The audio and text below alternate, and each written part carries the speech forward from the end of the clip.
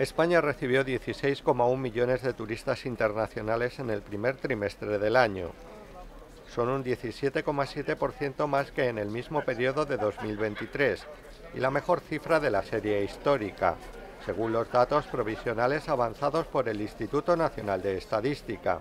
La, la, contribución del turismo al desarrollo de la economía española es fundamental. Además, el incremento del gasto creció un 27% hasta alcanzar los 22.000 millones de euros, una cifra que es debido en parte a la Semana Santa, que este año cayó a lo largo del pasado mes de marzo. Primavera, bueno, un poco rara la primavera, pero bueno, bien. A mí me encantó ¿eh? el clima, a pesar de ser primavera, yo amo este clima. El Reino Unido fue el principal origen de los turistas que llegaron a España, con cerca de 3 millones de visitantes, seguido de Alemania con 2,1 y Francia con 2 millones. En cuanto a las preferencias de los turistas extranjeros, Canarias fue el principal destino elegido, con 4,3 millones de visitantes, seguido de Cataluña con 3,4 y Andalucía con 2,4 millones.